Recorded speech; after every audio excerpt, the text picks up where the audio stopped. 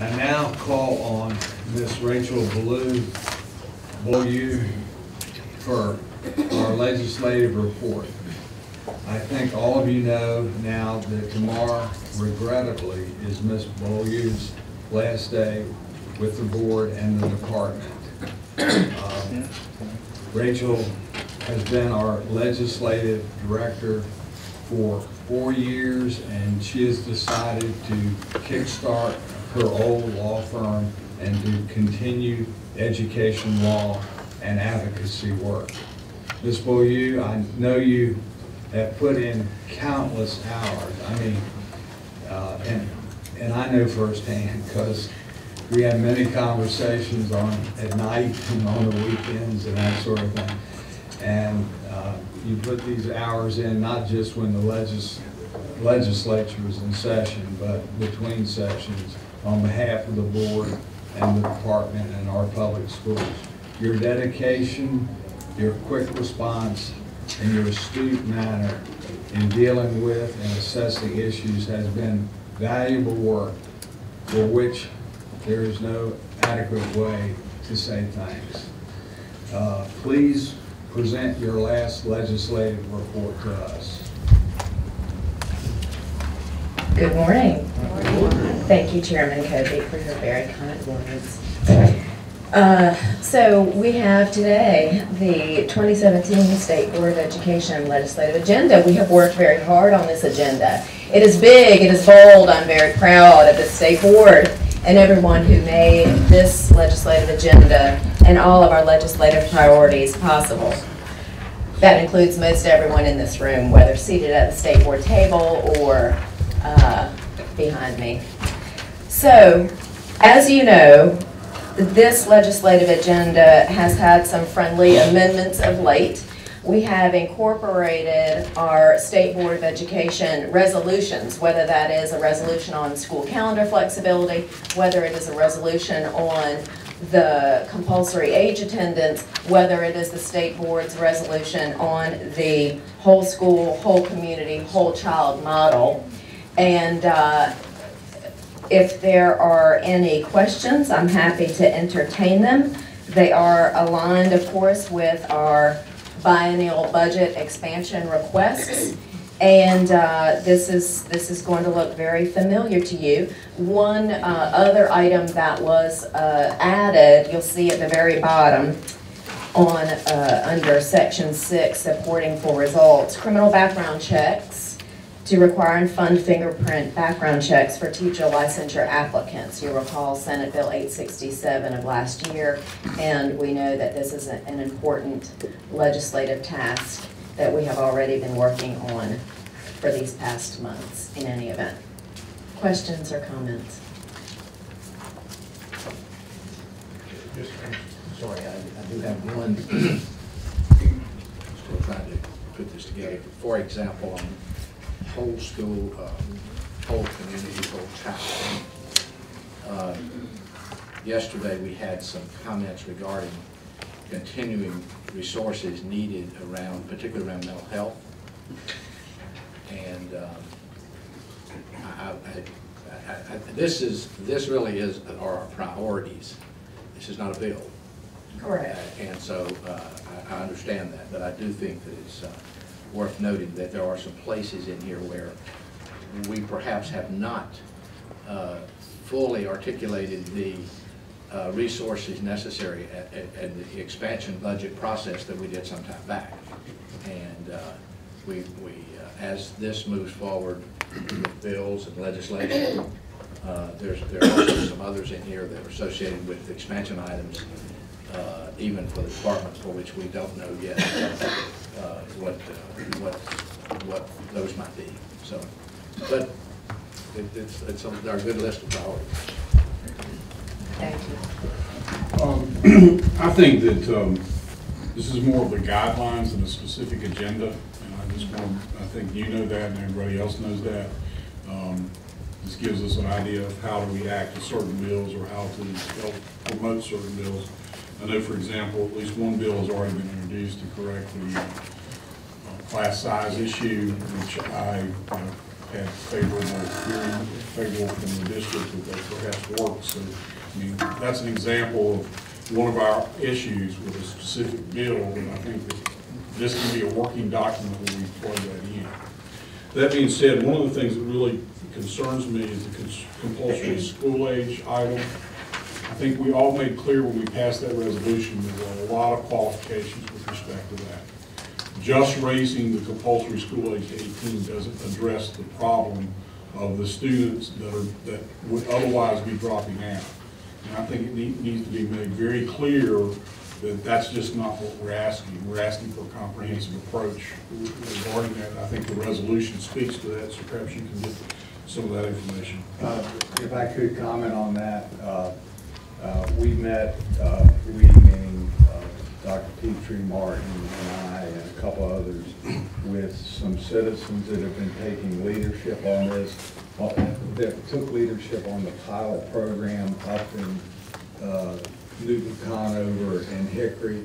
And uh, it it was clear in that meeting, what you just said, Mr. Collins, there's a lot of complexities around here. But uh, we also think, uh, think that the whole student uh, North Carolina committee should try to address this as part of their agenda. So uh, I think Dr. Petrie Martin is going to be talking with you about that. Well, good. That committee will come back with some more specific recommendations. One, one other item that was brought to my attention back in, um, when we were in Appalachian State, when I kind of made an offhand request to Carolyn Guthrie regarding Read to Achieve, and uh, thankfully she provided me some data this morning. Uh, One of the things that we have uh, with respect to Read to Achieve is that we have a number of students who are not passing at third grade who go along and transition. And there's a number of students that uh, are not, even at fifth grade, being proficient. And that number unfortunately is getting larger. And I think that um, we need to craft something with respect to read to achieve support past third grade. And I think that should be one of our real priorities to try to advocate, because I think Read to Achieve is one of the hallmark programs of the legislature. And the data that, that I'm seeing um, is a creates a serious problem with respect to that that we need to address. And, and we can spend a lot more time on issue session, get diving into it, but I'd like to see something in the framework with respect to it. Um, Yes, Ms. Willoughby. Well, related to that, you know, I'm gonna put my plug in, we mentioned, um, as, and I applaud, thank you, first of all, for your work for the last several years with us on our legislative, um, agenda and work with the legislators. Uh, when we we talked about the pre-K and early childhood, um, needs and the increase for slots, we talked about providing the data to the legislators to show the direct correlation between at-risk four-year-old intervention and third grade reading scores. And I think that's related, that was my segue to get my other pre-K comment in. But um, I think that it's really important that we connect those dots and that, you know, and I, I know, Rachel, that you always are good at connecting all the dots with this, but as you exit, all of it, it's incumbent upon all of us to help connect these dots for everyone who looks at this. None of these are standalone, but certainly, you know, the work that Mr. Alcorn's involved in in Maryland County is, is fabulous and will make a difference there in, in third grade reading scores. We have that data. Um, the other thing that I wanted to mention is, you know, when we talk about raising the compulsory age, I applaud your comments, Mr. Vice Chair. And it's related to things like the cooperative and innovative high schools. If we want to engage students, we need not look past what happens with those schools. You know, I, we recognized the graduation rates recently, I can't remember what the percentage was, but I'm gonna guess it was ninety-five percent of the hundred percent passing rate were in those high schools that are cooperative and innovative high schools. You know, you're engaging our students in a different way, and that's, I think, Mr. Collins, what you're saying is, it's not just about age, it's about engagement. Um, and, and further, the whole child North Carolina model, certainly, when we look at number four, D with nurses and child and family support teams, and we look at three A with, you know, laws and funding consistent with wraparound services. Those things are huge, important, and related directly to what we heard yesterday from Dr. Essig, Dr. Harvey, Yates, in a very personal manner. So I just, you know, I think this is a great start, but we really got to make those connections. And thank you, Mr. Chairman. Okay, I, um, those comments were great comments, but I think at some point in time, we gotta have sort of consensus of moving forward and, um, are, are y'all saying we can move forward Oh, yeah. without adjustments? Oh, yeah. Especially That's what I'm knowledge? saying. I Yeah, don't- but he, he he said having it as a guideline or Yeah, priorities, right, working right. document. So, change it. um, No changes. I guess we could have a formal vote, vote, but if, if there is no objection, then we can take the word draft off this document. Oh, yeah. Okay. I'm, I'm happy. with Okay, that. without objection, The we'll take. the only thing is, I think that uh, Ms. Bellew will probably take some of the comments that we've made, and you may tweak some of the language a little bit with respect to those issues, and it's- and it's- certainly I would like something added with respect to this read to achieve additional support uh, that doesn't appear to be specifically on there. And, and and of course, Ms. Willoughby wants every, every section in here to have something to pre-K. And, uh, and and Mr. Mr. Alcorn wants uh, uh, uh, return on investment on everything. Okay. Ms. Bowe, you, Well- can you tweak this document a little bit, and we'll trust her to do it, right? Well, I, I just, all of us, and I mean, everyone here understands this, uh, sometimes we won't know what it is until we read the bill. Right. And if a legislator has a, a- a real passion for something that's on here, and he or she introduces the bill, then we, we have to be able, so we're not gonna be able to, to, Right. we're not drafting bills this morning. is what I'm saying. Thank goodness. Uh, Yes, uh, Dr. Oxendine. Thank you, Chairman Cobey.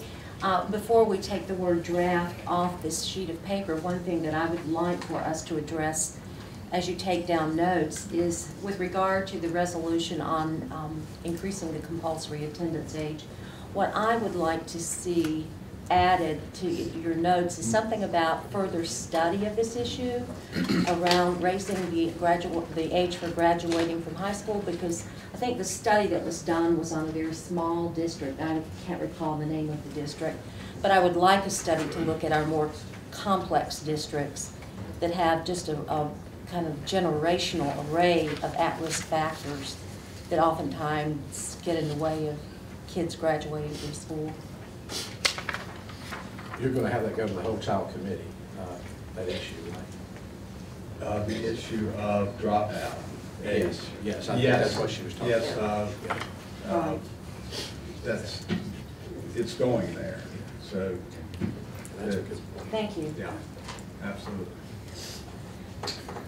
Thank you very much.